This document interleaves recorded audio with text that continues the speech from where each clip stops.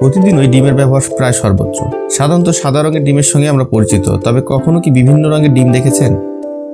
পৃথিবীর বিভিন্ন প্রাণীকুলে এমন কিছু ডিম রয়েছে যার অস্তিত্ব টের পেয়ে আপনি বেশ অবাকই হবেন। এসব ডিম দেখতে যেমন বিস্ময়কর, তেমনি প্রাণীকুলের ডিম থেকে বাচ্চা ফুটানোর প্রক্রিয়া বেশ রহস্যময়। চলুন তবে জেনে নেওয়া যাক অদ্ভুত কিছু ডিম সম্পর্কে। তো বন্ধুরা, ভিডিও শুরু আগে জানিয়ে দিই, যারা আমার চ্যানেল নতুন এসেছেন, তারা চ্যানেলটিকে সাবস্ক্রাইব করুন, পাশে থাকা বেল আইকনটি ক্লিক করে দিন, নতুন নতুন সব অজানা বিষয় জানতে। আর যারা সাবস্ক্রাইব করেছেন, তাদের অসংখ্য ধন্যবাদ। স্কিপ না করে পুরো ভিডিওটি দেখার আমন্ত্রণ। ফিরছি একটা ইন্টার পর।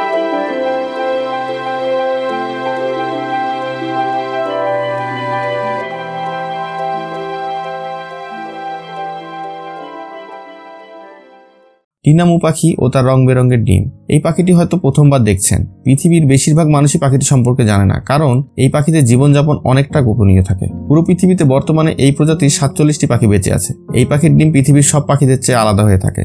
স্ত্রী পাখি ডিম পেরে চলে যায়, তারপর পুরুষ পাখি দেখাশোনা করে ডিমগুলো। এদের ডিম পরিষ্কার ও অনেক রঙের হয়ে থাকে। আর এই ডিমের আকার মুরগির ডিমের মতো হয়ে থাকে। ডিম রঙিন হওয়ায় দেখতে খেলনার মতো মনে হয়।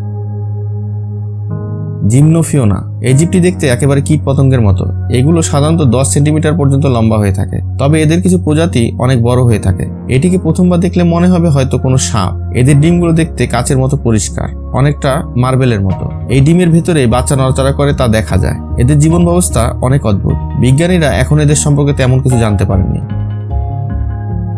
হর্ন শার্ক আমরা হাঙ্গর সম্পর্কে অনেকেই জানি, তবে জানেন কি হাঙ্গর ডিম দেয়? তবে হাঙ্গরের সত্তর শতাংশ প্রজাতি বাচ্চা দেয়, বাকি তিরিশ শতাংশ ডিম দিয়ে বাচ্চা ফোটায়। হাঙ্গরের ডিম দেখতে আজব ও অদ্ভুত। এই ডিমগুলো দেখতে শামুকের মতো, বাইরে থেকে অনেকটাই শক্ত। এর কারণ হলো যাতে বাইরে থেকে বাচ্চাকে রক্ষা করতে পারে। হাঙ্গর ডিম দেওয়ার সঙ্গে সঙ্গেই মুখে করে সুরক্ষিত জায়গায় নিয়ে যায়। যখন ডিম দেয়, তখন ডিম অনেক নরম থাকে। তবে কিছুক্ষণ পরে আস্তে আস্তে ডিমটি শক্ত হতে শুরু করে। ডিমটি দেখে কেউ চিন্তাও করতে পারবে না এটি একটি ডিম, কারণ এটি দেখতে শামুকের মতো। ইউলোহেড জোফিস, পৃথিবীতে যত মাছ রয়েছে তাদের বাচ্চাদের হেফাজত স্ত্রী মাছই করে থাকে। তবে জোফিসের ক্ষেত্রে এটি ভিন্ন। এই মাছ বারো সেন্টিমিটার পর্যন্ত লম্বা হয়ে থাকে। এই মাছের ডিম পুরুষ মাছ তার মুখের ভেতরে রাখে। স্ত্রী মাছ ডিম দিয়ে গায়েব হয়ে যায়। তারপর পুরুষ মাছ তার মুখের ভেতর নিয়ে নেয়। তবে এই ডিমগুলো খায় না, মুখের ভেতর রেখে দেয়। যতক্ষণ না এই ডিম থেকে বাচ্চা বের হয়, ততক্ষণ বাবা মাছের মুখেই ডিম থাকে। শুধু মাঝে মধ্যে ডিমগুলোকে হালকা বাইরের দিকে বের করে যাতে মাছগুলো মুখের ভিতর অক্সিজেন নিতে পারে। এই মাছের ডিম ছোট ছোট জেলির মতো হয়ে থাকে। অক্টোপাস ও তার ডিম।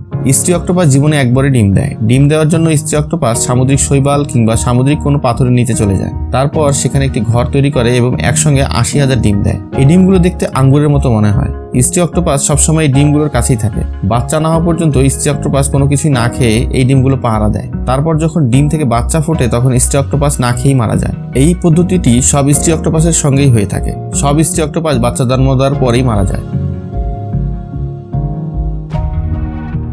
কুইন মৌমাছি ও তার ডিম। পৃথিবীর সব দেশেই রয়েছে মৌমাছি। তবে জানেন কীভাবে মৌমাছি জন্ম নেয়? যে কোনো মৌমাছির চাকে যত মৌমাছি থাকে, সব মৌমাছি একটি মাত্র কুইন মৌমাছি থেকে জন্ম নেয়। কুইন মৌমাছি জীবনে একবার মিলন করে। মৌমাছি সাদা রঙের ডিম দেয়, প্রত্যেকটি মৌমাছি একবার করে ডিম দেয়। তিন দিন পরে এই ডিম ফুটতে শুরু করে। মৌমাছির বাচ্চা খুব তাড়াতাড়ি বড় হয়। মাত্র বিশ দিনের মধ্যেই বাচ্চা উঠতে শুরু করে।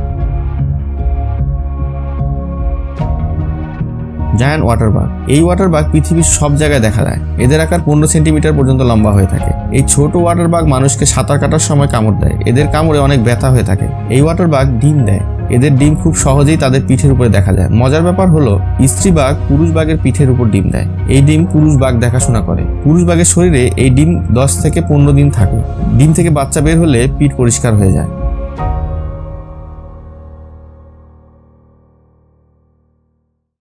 বন্ধুরা, আজ এ পর্যন্তই। দেখা হবে আবার নতুন কোনো টপিক নিয়ে। ভিডিওটি সবটুকু দেখার জন্য ধন্যবাদ। আর যদি ভিডিওটি ভালো লেগে থাকে, তাহলে চ্যানেলটিকে সাবস্ক্রাইব করুন। পাশে থাকা বেল আইকনটি ক্লিক করে দিন এবং লাইক শেয়ার কমেন্ট করতে ভুলবেন না। ভালো থাকবেন সবাই।